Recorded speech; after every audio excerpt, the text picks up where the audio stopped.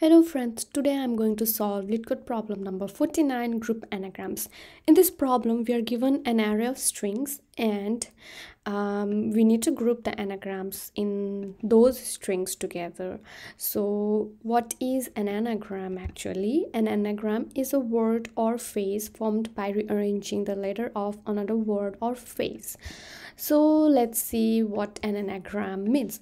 So if we have a word apple so we have a word apple. Then the anagram of this word would be um, anything after rearranging the letters. So if we rearrange this like p l e oops p l e a p. So we still have all the letters from the word apple right? We have a we have P, we have P, we have L, and we have E. So we have all of the letters from the word apple, and then we formed a new word. This word doesn't make any sense, that is, it doesn't have any meaning, but still, it's a new word from formed by rearranging new words from the apple so that is why this is an anagram of apple so basically it is a combination of uh, like rearranging a combination of all the words taken together. So that is what anagram means. So for the word eat let's take this word and find out what could be the anagrams of this word. So if we rearrange this word um, let's suppose a. So we arrange this word as a t e. So this is one anagram of this word eat. The another anagram could be um, T T E A T. Another anagram could be A E T and so on. So this is how we could form the anagrams of this word it. So um, if we look at this example here then eat and t are anagrams. So these two will be grouped together. Is tan an anagram of eat? Will not because it doesn't have the word e here right? It has a character n but it has a character e. So tan is not an anagram of it that means that tan is not an anagram of t as well. So it and t is grouped together okay so all right. It and t will be grouped together and tan will form a new group. And the next word ate so ate is also an anagram of eat. So it is also an anagram of As well. So these will form one group. And then the next word nat. Nat is an anagram of tan so these two words will group together. And the next word is bat. And since bat is not an anagram of eat neither an anagram of tan so that will form a new group on itself. So this is how we are going to group all of these words um, into a group of anagrams. Now we need to find a way to solve this problem. So how could we solve this problem?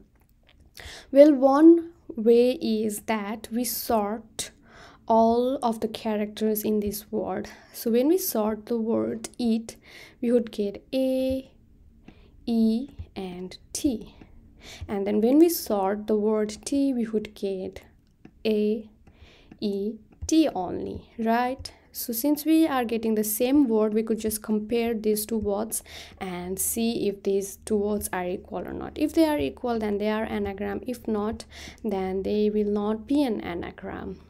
So let's see what would the time complexity of this solution would be. In order to sort a sort um, it takes um, if the length of the string is m then the time complexity would be m log of m right for sorting. And if there are n number of strings then we would have to do it for each of the strings. So that would be m n log of m time complexity. So that is huge right? That's a huge time complexity. So can we do it in a less time complexity? Um, let's think about that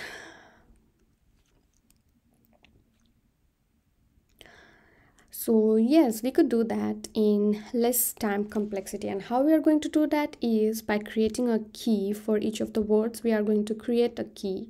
So um, let's take this example again and see how could we approach this problem in a more optimal way. So for this uh, we will count the frequency of all the characters in this word. So we take the word eat and how many characters do we have in english alphabet? And uh, let's look at the constraints. The, the constraint says that the string consists of only lowercase english letters right?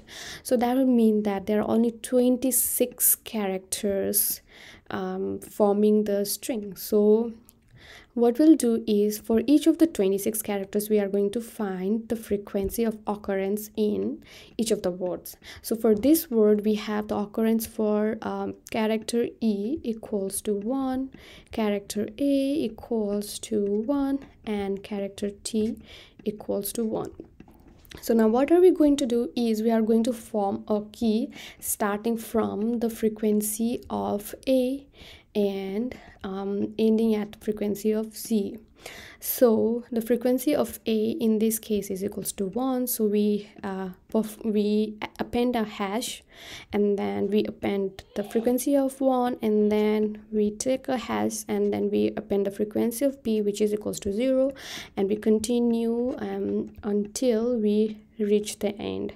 So for e we will append the frequency of 1 and then hash and then we'll append the frequency of f and so on and then we also append do the same with t and then finally we'll append the frequency of z which is equals to 0 so this will be the key and this key will store in the map. So what are we going to do is we create a map and this will be the key to our group of anagrams so using this key in our map we are going to find our group. So uh, what will happen is it will have the same key and t will also have the same key. So once both of them are, have the same key so this key will map to the value that will have an array which consists of uh, strings eat string t and the string 8 so all of these anagrams will be grouped in this array with the key value equals to this. And we'll do the same thing with uh, other uh, words as well and group them together and then finally we'll use the value in our map to form our final result and uh, return that result. So now that we understand this problem let's try to code it. But before that yeah let's look at the time complexity of this solution. So what will be the time complexity? In order to create this key we need to find the frequency of all the 26 characters in each of these words right? So 26 characters which means that first of all we need need to uh, loop over each of the word right? So that would be o of n time complexity. And then uh, we also need to find the frequency for each of the character right?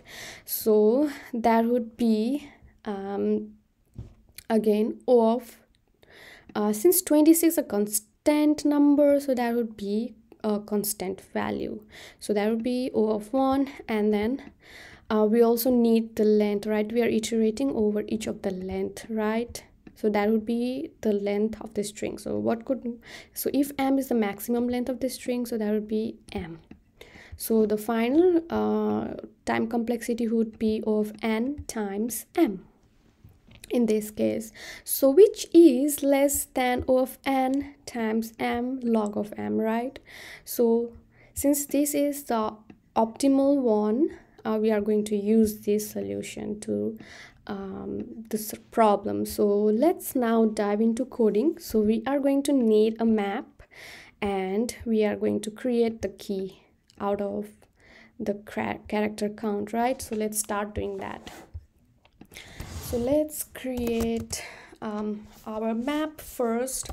So map equals to an empty map so far. And now um, we need to iterate over each of the string in our strings array. So for each of the string we need to find the count of each of the character right? So let us define uh, an array count.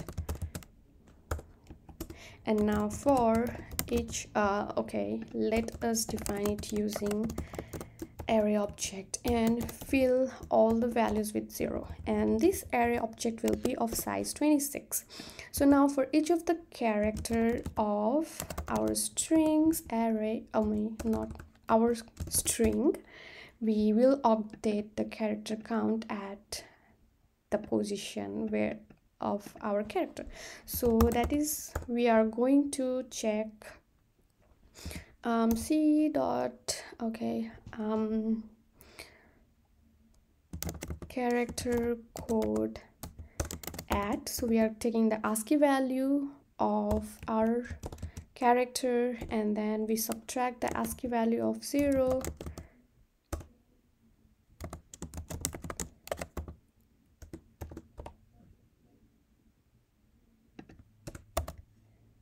okay so this will give the index of in our character uh, in our array. So for character a the index would be 0 for character b the index would be 1 and so on. So for that index we are going to update the count of that character at that position. Now that we have the character counts what we need to do is now create create our key right?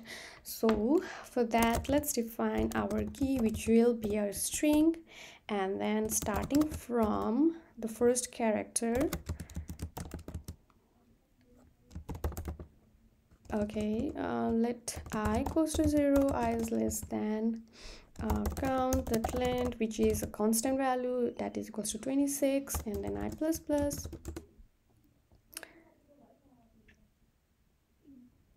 And then what we are going to do is we are going to append to our key the hash value first and plus the count of the character at that index.